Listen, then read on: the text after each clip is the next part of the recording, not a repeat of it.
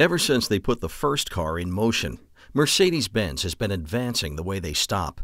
With adaptive braking technology, a series of innovations helps to make braking more confident and more comfortable. In some situations, the brakes in a Mercedes Benz respond before you even step on the pedal. Predictive brake priming senses how quickly you lift your foot from the accelerator. By the time you reach the brake pedal, the brake pads have moved closer to the discs, pre-charged for quicker response. In the rain, your Mercedes Benz knows if the wipers are on, the brakes are probably getting wet too. To keep them ready for action, automatic brake drying periodically squeezes the brakes, just enough to sweep away water buildup.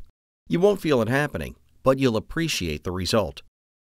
When you're stopped on an incline, Hill Start Assist helps you get going without rolling back. It automatically holds the brakes for an extra moment so you can get on the gas without worry. They can even make waiting in traffic a little easier. Once you've stopped, a firm additional push on the pedal sets the hold feature. Now you can take your foot off the pedal and relax a bit. The brakes and brake lamps stay on, foot free.